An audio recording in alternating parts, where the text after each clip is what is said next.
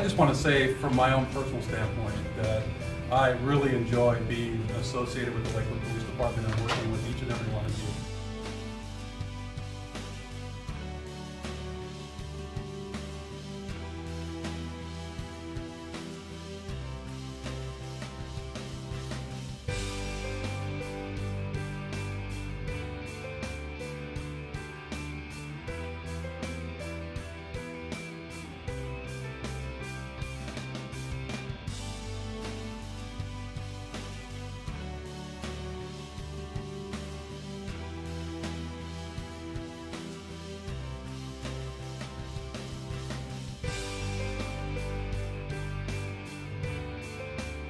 One of Detective Eggleson's legacies on this department will be that of being quote-unquote the closer.